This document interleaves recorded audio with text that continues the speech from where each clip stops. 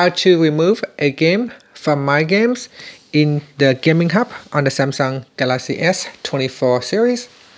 First, tap on the home button to go back to the home screen. Then swipe up on the home screen to go into the app screen. In here, swipe across and locate gaming hub. Now open up the gaming hub.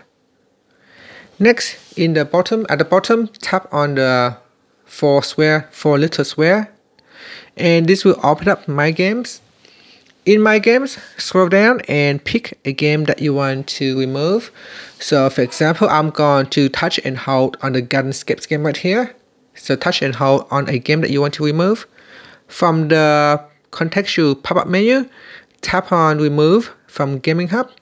So tap on remove set here remove from gaming hub Game Booster optimizations will still work during gameplay.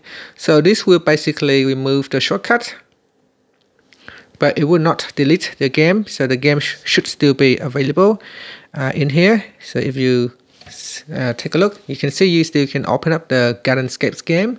It's still available on your device. It's just that it has been removed from that My Games uh, shortcut.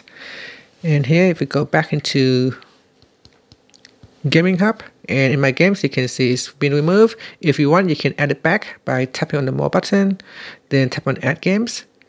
And from the list here you can add them uh, back in. So if I can uh, locate it get an Gardenscape and then here tap on add to gaming hub and we'll be back uh, added back in. And that's it. Thank you for watching this video. Please like and subscribe to my channel for more videos